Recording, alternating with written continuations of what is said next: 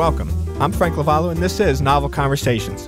Today I'm having a conversation about the novel Atlas Shrugged by Ayn Rand. And I'm joined in my conversation by our Novel Conversations readers, Joan and Patrick Andrews. Joan, Patrick, hello. Hello, Frank. Glad to be here. Hello, Frank. Glad to have you both.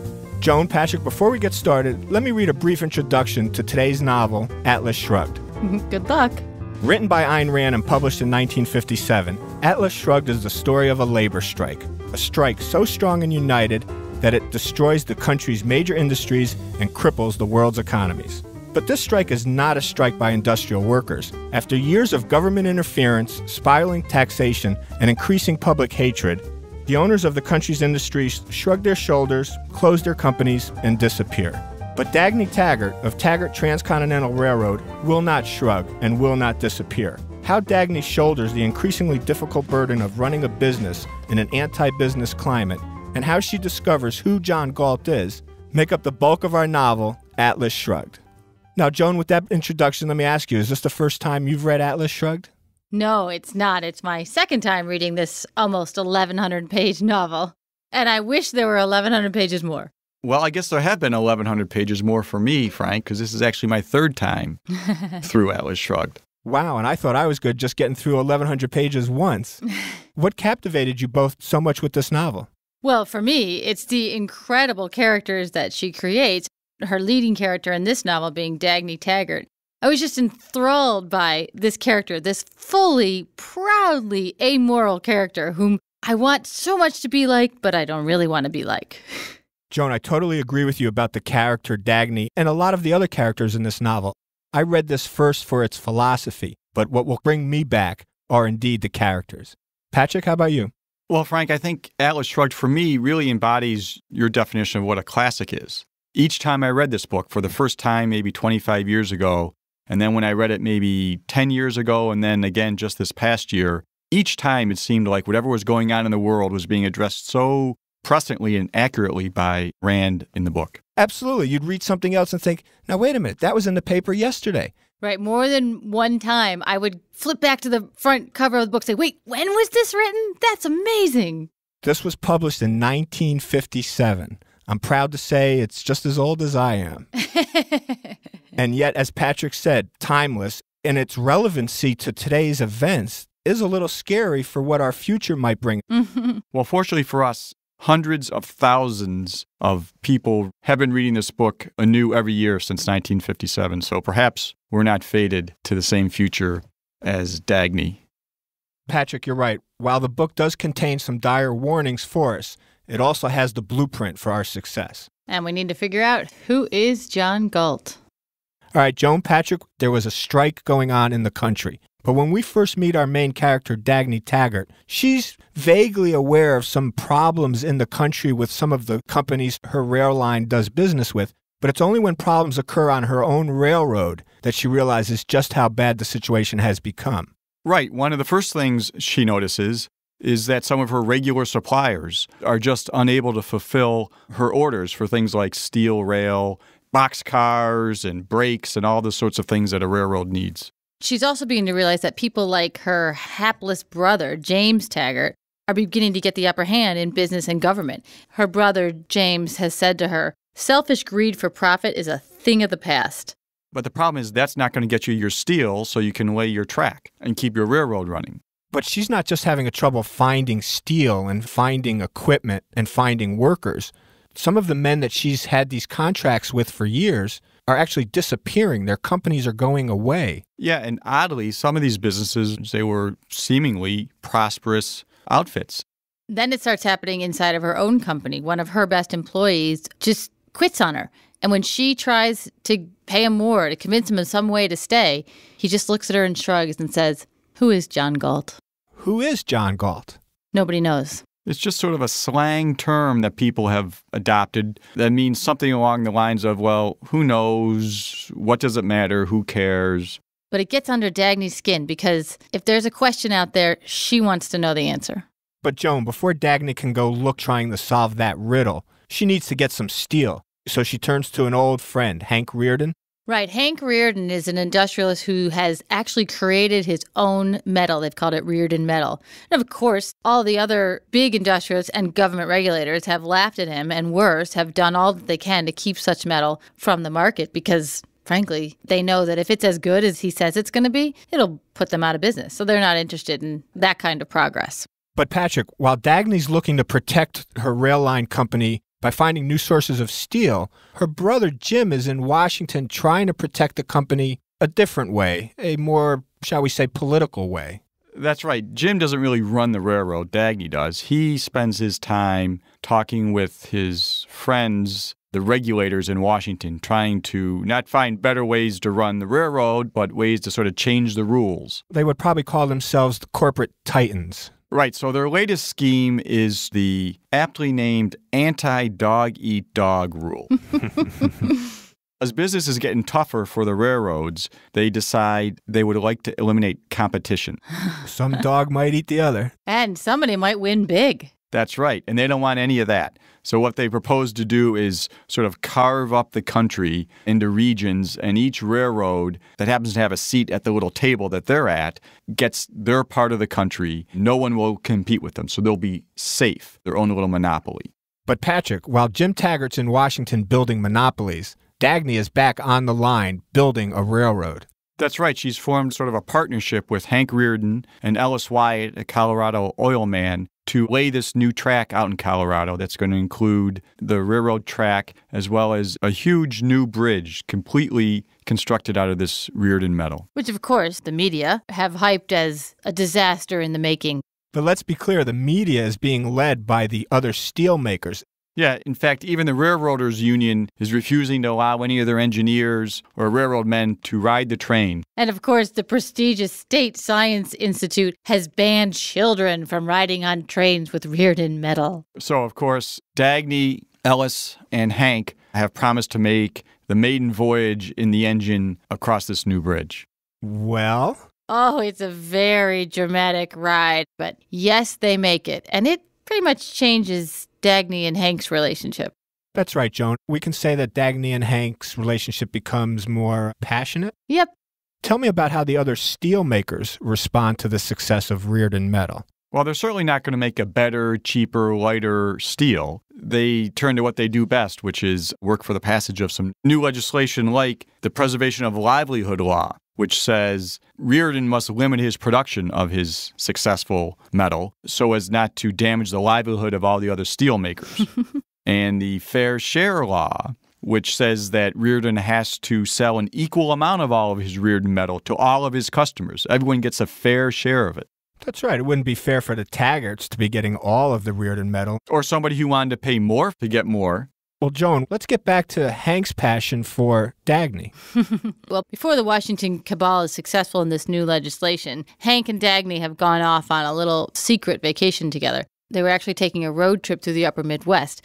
And they find the remnants of a motor that Dagny can tell would have been a self generating motor. It would have been the cleanest, swiftest, cheapest means of motion ever devised. Hank and she knew immediately that this would have changed the world. And this starts Dagny on a quest to find out who created this motor and what happened.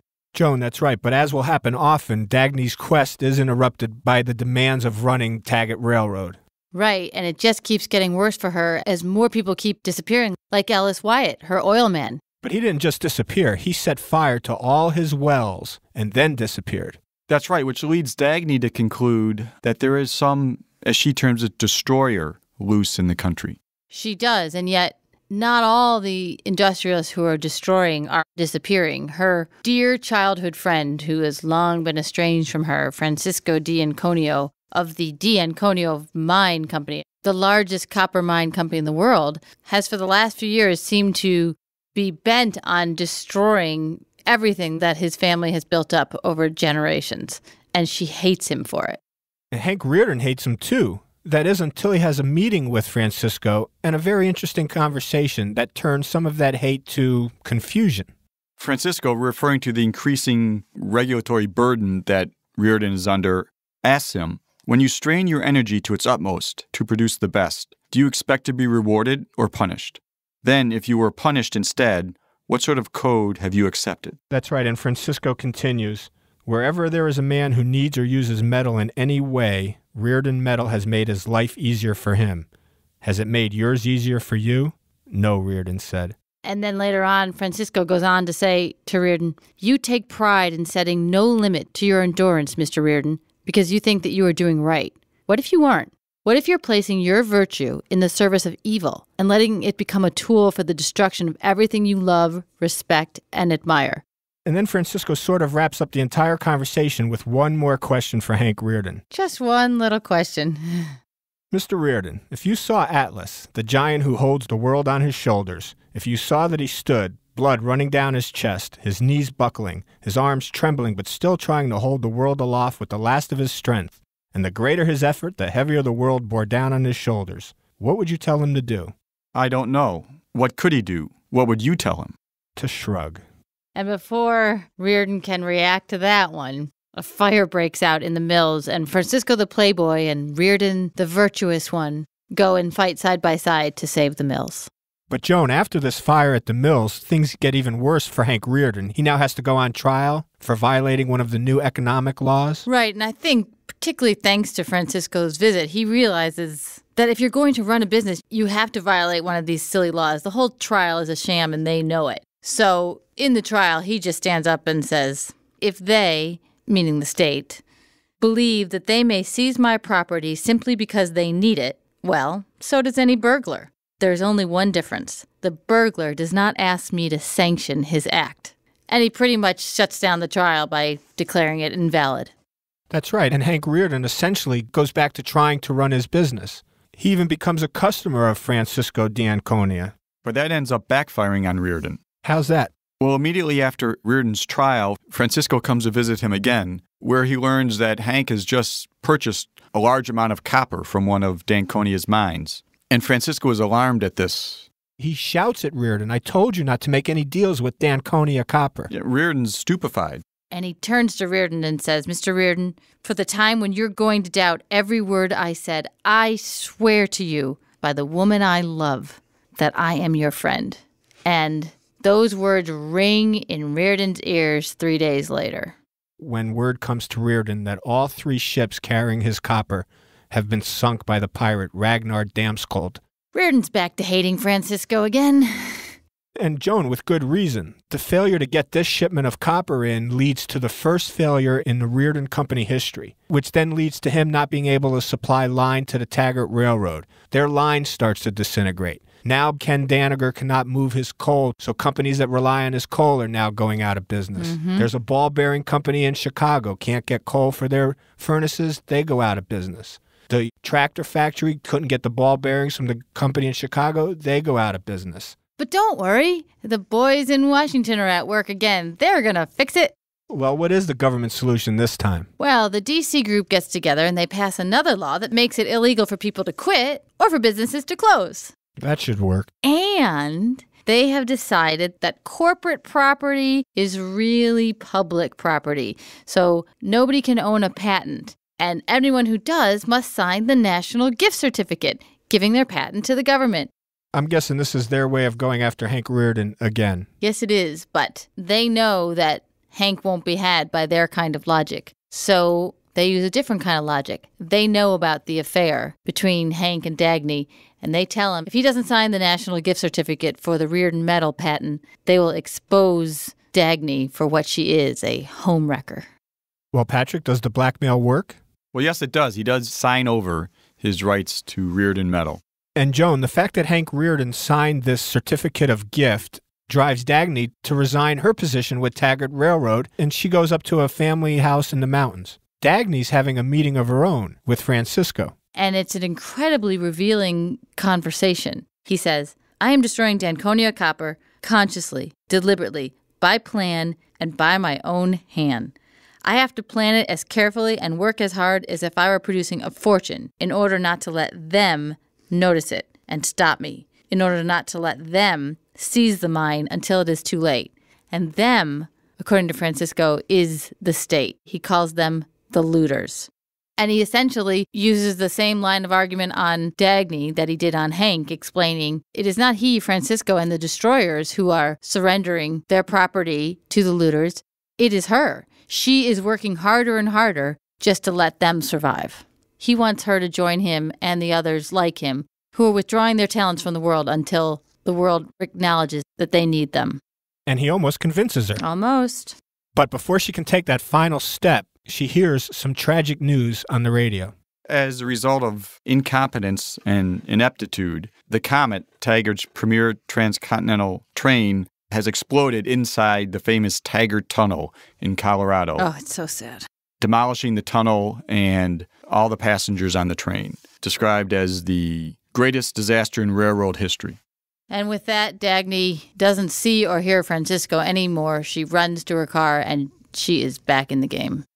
And Dagny, like nobody else in the country anymore, manages to fix things as best as possibly can be fixed. But Joan, Francisco's not giving up. He comes back one more time to try to convince her to leave this looter's world. At the same time that Hank Rearden comes to visit Dagny. So there's an awkward meeting in Dagny's apartment where everyone realizes where they stand in relationship to Dagny. And with the knowledge that Rearden and Dagny are having an affair, Francisco just leaves. It's not easy for him, but he leaves. But Patrick, the very next day, Dagny gets a letter that delivers another blow to her. That's right. Quentin Daniels, the bright young scientist that Dagny had hired to try and figure out the secret of this motor she and Hank had discovered in the ruins of the 20th Century Motor Company, sent a letter saying he'll no longer accept payment for work on trying to figure out the secret of this motor.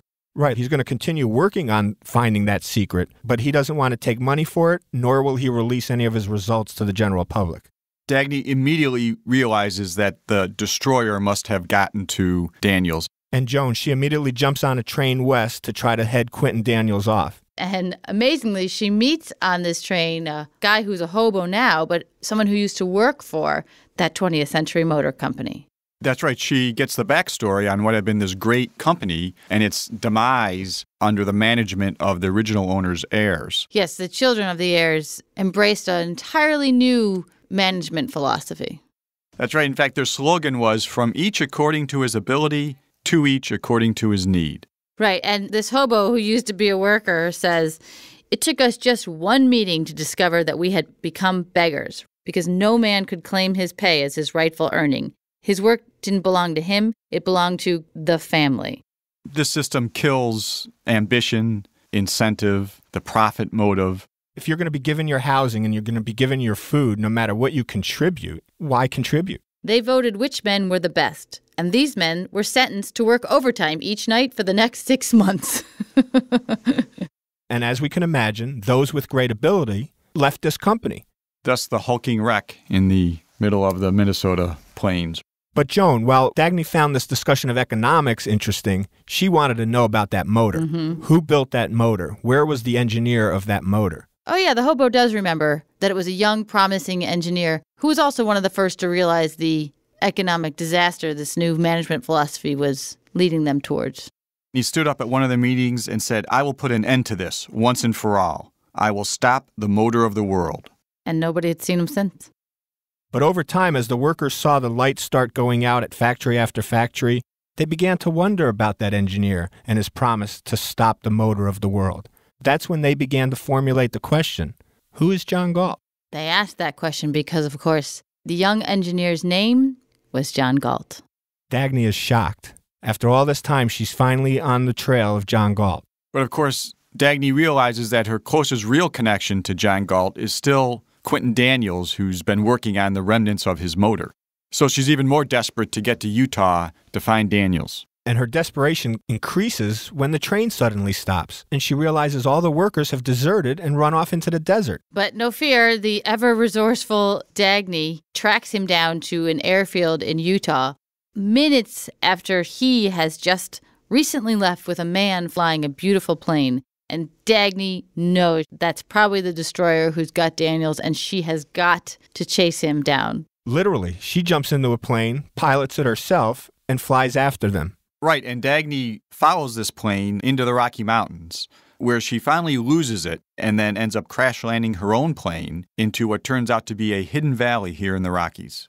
And Patrick, while her injuries aren't very severe, she does lose consciousness for a while, and upon awakening, is face to face with a stranger. Or is he? John Galt. And it all starting to come together for Dagny now. What's coming together? Well, Dagny realizes now that John Galt is who she was searching as the motor's inventor and the destroyer who's stealing all the great industrialists from the world. Women's Running Stories, where we explore the intersection between running and life. Because every woman who is committed to a running journey has a story to tell, and this is where you'll find those stories. I am host and producer Cherie Louise Turner. I'm a 53 year old runner, and together with original music by musician and runner Cormac O'Regan, we bring these inspirational stories to life. Please join us to fuel your adventures. But Patrick, once Dagny realizes who else is in this valley, she quickly understands John Galt is not a destroyer. All the great business leaders who have disappeared over the course of the book have found a home in this valley in the Rockies. And of course, not just industrialists, but leaders in all their fields bankers, engineers, philosophers, teachers, composers. And, although at this point she's not surprised, Francisco d'Anconia. Of course. But Joan, Dagny discovers that not only is John Galt here, his motor's here as well. And it works. Everything works in the valley. It's a utopia. Amongst themselves, they call it Atlantis. That's right. And Dagny realizes here an honest day's work gives you an honest day's pay. And because she is injured and only a visitor to this place, she accepts her only role there as a cook and a maid to John Galt. That's right. They really live by one rule and one rule alone. I will never live for the sake of another man, nor ask another man to live for mine. And in fact, that is the oath you have to take to remain in the valley. That's right. Self reliant capitalism rules in this valley. But she learns that not everyone who has taken that oath actually stays in the valley. Well, of course, we know Francisco comes and goes from this valley. We've seen him in, let's say, the other world. We know Ragnar Danneskjöld. The pirate. The pirate is not only in this valley, but again, we've seen him in the other world. Right. We even learn that John Galt spends most of his time outside the valley, but we don't learn where or what he's doing. But on top of this, she learns that whether they're in the valley or they're out, they are all on strike.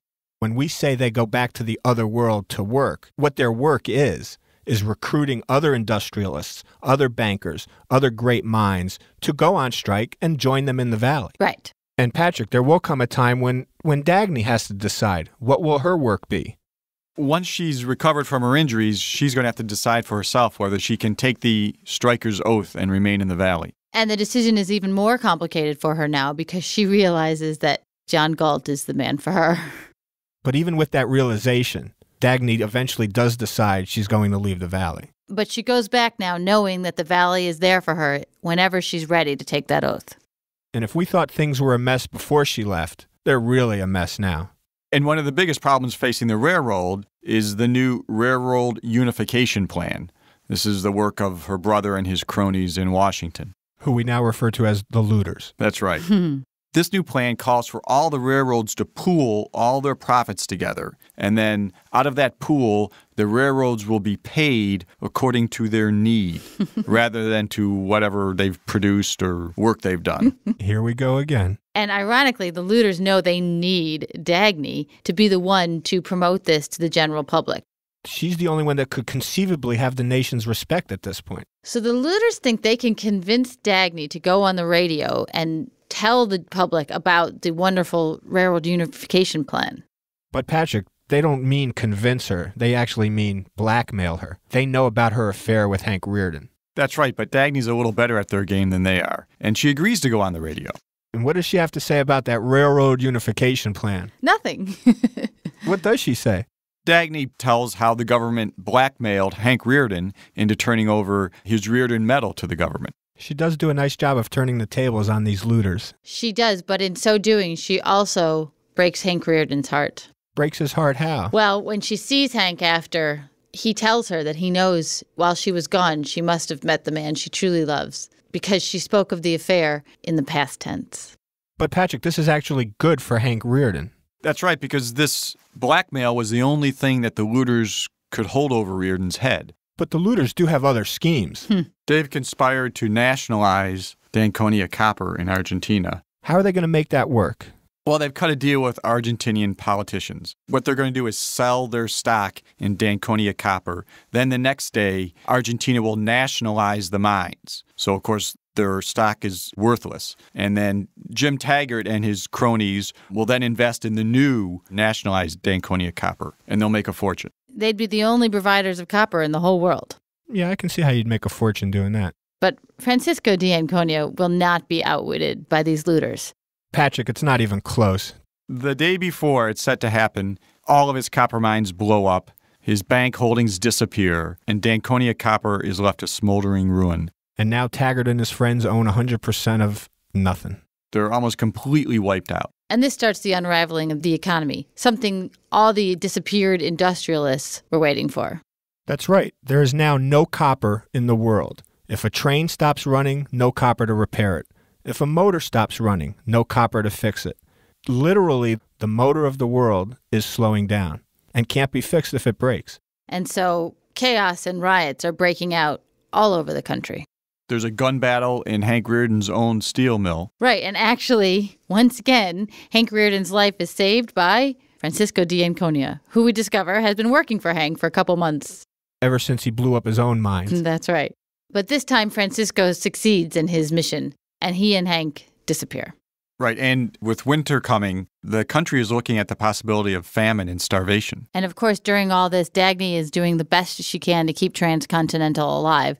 She even teaches her workers how to use flags for signaling trains instead of the lights, how to flip the switch manually for the tracks instead of using electricity. Really going old school. Right. And during one of these meetings with her workers, she sees the face of John Galt among her employees and she realizes he works for her. And that's when the looters announced that tomorrow night the President of the United States will come on the radio and give an address to the nation in an attempt to calm their fears. But it's not going to happen. What does happen? John Galt preempts all national broadcasts with a speech of his own. Well, what does John Galt have to say to the nation? Plenty.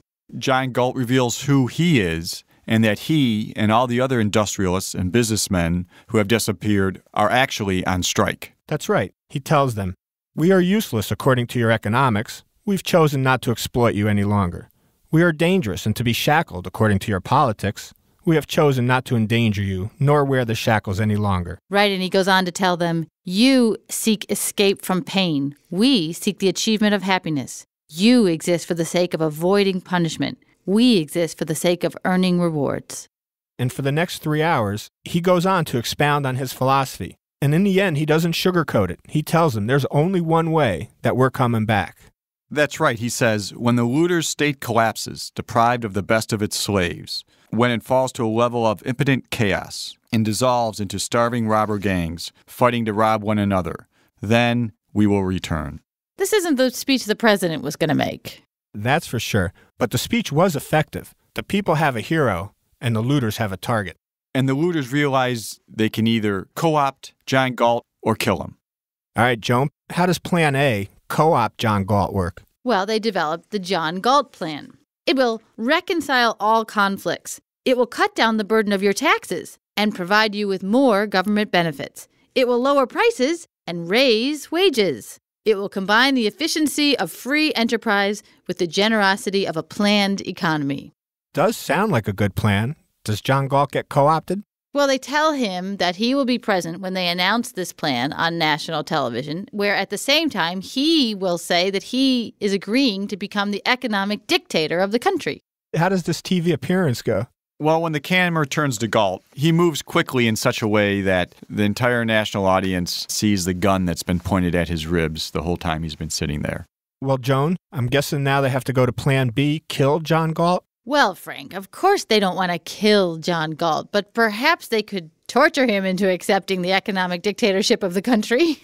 Sort of a Plan 1A. yes. well, Patrick, do they torture John Galt? Well, they do. They hook him up at the State Science Institute with some sort of electrical torture device. But of course, it breaks down. Is there an engineer in the house?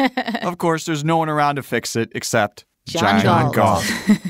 Well, are they successful in their Plan B with the repaired torture device? no, they're not. Hank Rearden, Dagny Taggart, Ragnar Danneskjöld, and Francisco d'Anconia come to his rescue.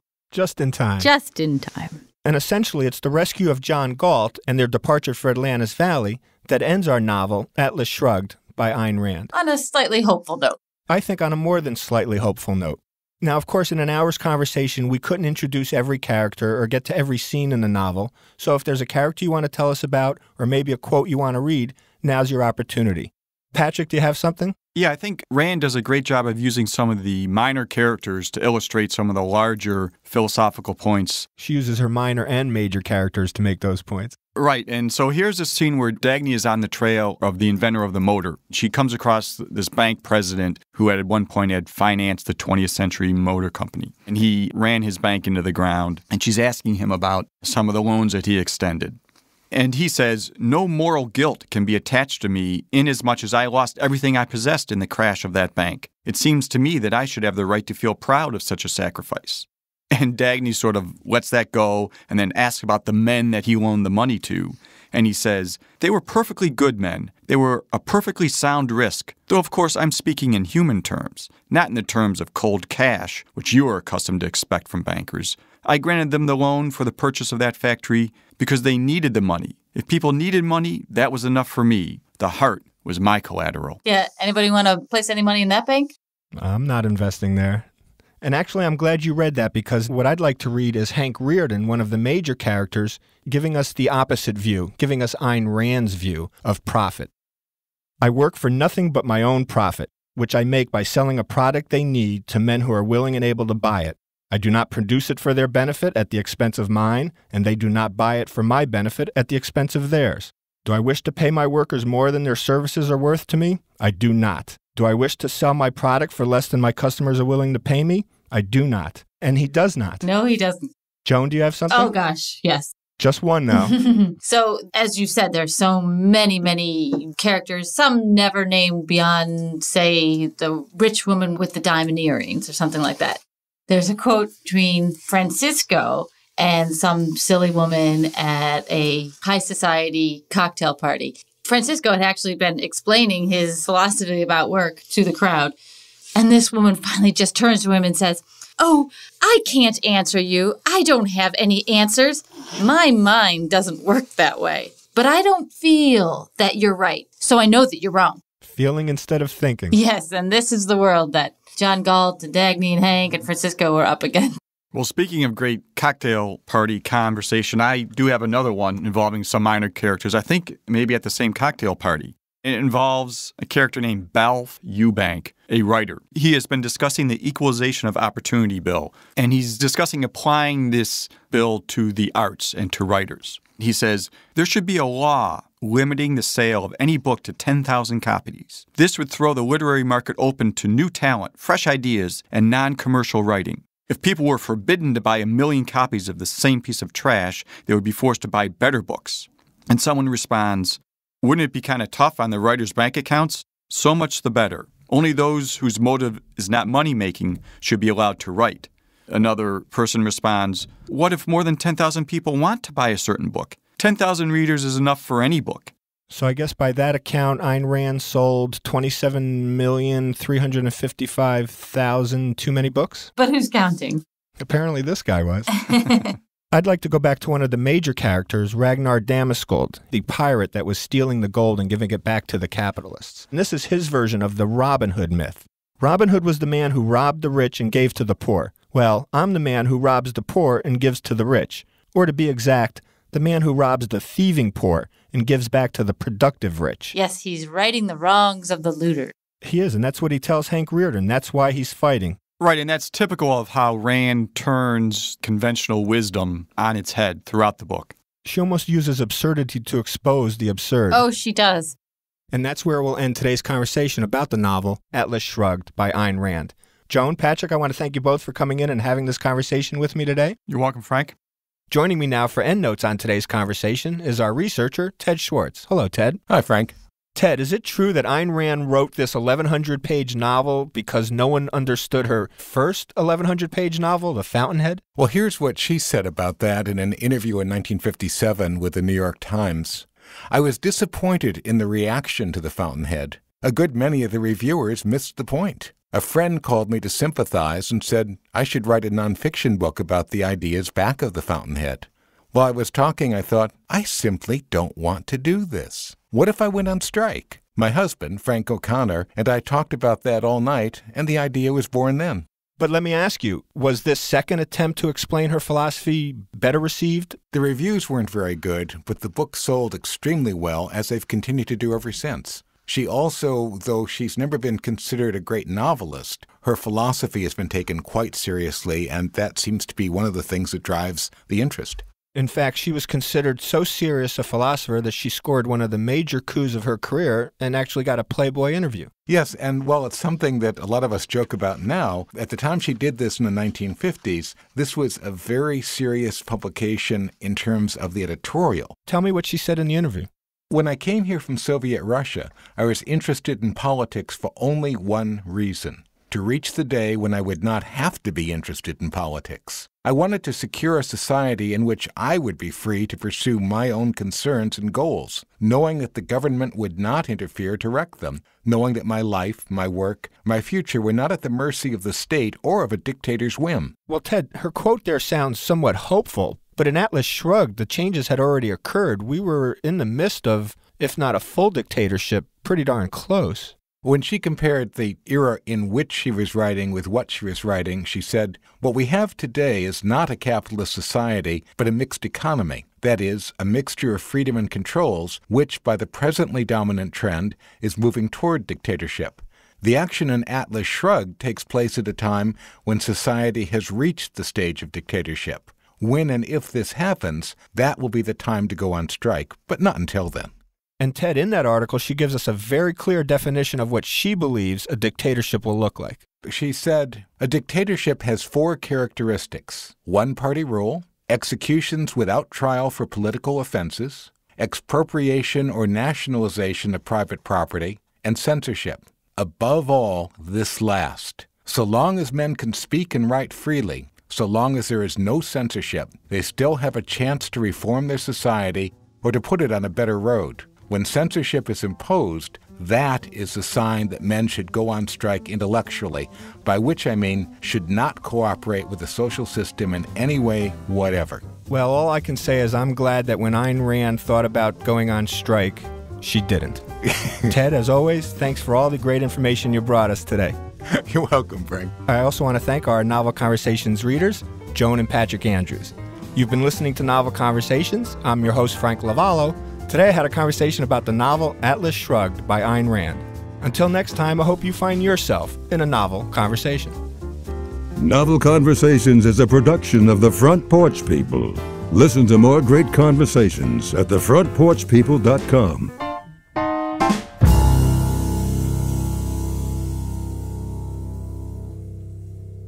Thank you for listening. Coming up on 5 Minute News, I'm Anthony Davis. You might think it's partisan because maybe it's critical of one side or the other, but it's not, it's just the truth. And I think that's also something that's kind of unusual for Americans listening to the radio or to podcasts because the news landscape in the States has been so partisan for so many decades. So, five minute news is verified, truthful, independent, unbiased, and essential world news daily. This podcast was produced with the support of the Ohio Motion Picture Tax Credit and in partnership with the Ohio Development Services Agency.